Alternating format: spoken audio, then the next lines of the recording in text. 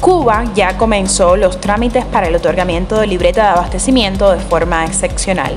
A partir de la siguiente medida se flexibilizará el tratamiento a personas que no tienen libreta de abastecimiento para poder acceder a la canasta básica normada de nuestra población. ¿Quiénes podrán acceder a la libreta?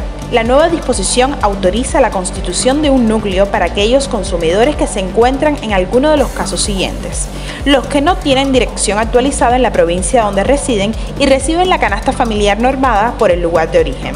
Los que no cuentan con el certificado de habitable de la vivienda donde residen y los que nunca antes han sido censados o repatriados. La Oficina de Registro de Consumidores, cumplido los requisitos establecidos para cada caso, emite vales piloto aprobados por el administrador de la oficina.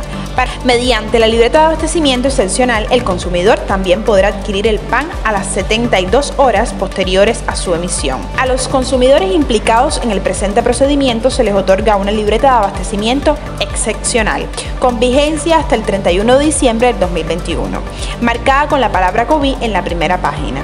Vencido este término, esta libreta queda sin efectos.